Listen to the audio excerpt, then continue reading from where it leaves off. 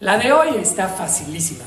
Mira, em, vamos a hacer unas chuletas de cerdo, unas chuletitas de cerdo con salsa verde, que la verdad están facilísimas y deliciosas. Lo primero, lo primero que vas a hacer es, vas a sellar las chuletas solamente con un poco de aceite, ponle sal y pimienta. Vas a utilizar una olla, justamente para que no salpique y no ensucies alrededor de donde estás cocinando.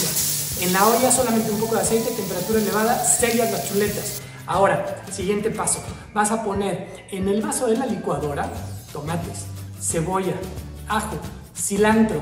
Vamos bien hasta ahí, ¿no? Siguiente paso, agrégale un poco de agua. Ponle un poco de sal, pimienta, licúa absolutamente todo.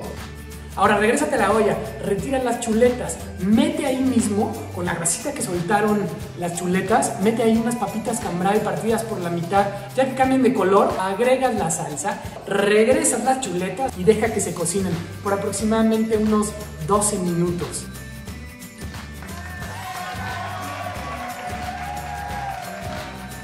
Oh, es una delicia, una verdadera delicia.